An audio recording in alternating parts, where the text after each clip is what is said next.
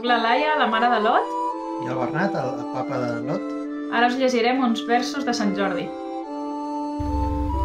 Sóc un cavaller de ferro, de ferro, coure i llautó, però tinc el cor de nata, de nata, mel i cotó. I avui et porto una rosa, una rosa i un petó. Jo voldria, en un pom, una rosa de cent fulles, d'un color roig com la sang i de fulles punxegudes.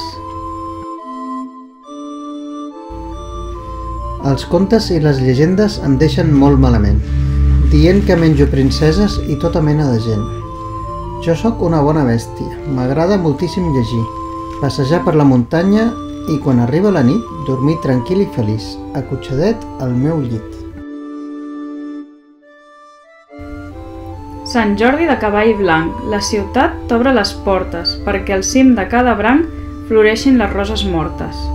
Sant Jordi de cavall blanc, ni picarols ni banderes unegin en el teu flanc, sinó el vermell de la sang i el groc de les inestes. Ja arriba la diada, amb llibres a cada parada, i una rosa vermella per a la princesa estimada.